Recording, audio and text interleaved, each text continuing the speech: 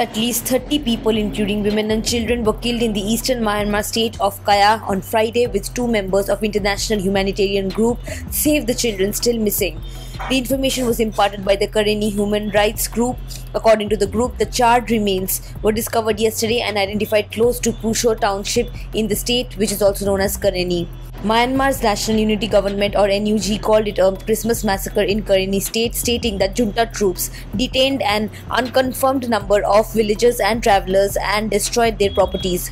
The NUG statement added that it repeats its demand on the international community to act immediately and decisively to end the military juntas escalating war crimes and crimes against humanity against the Myanmar people.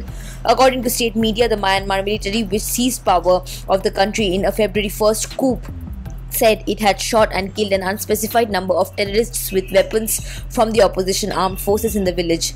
The people were in seven vehicles and did not stop for the military.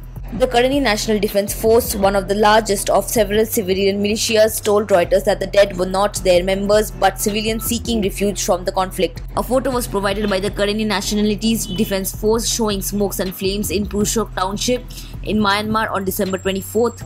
The international NGO Save the Children said two staff members who were traveling home for the holidays were caught in the incident and remain missing.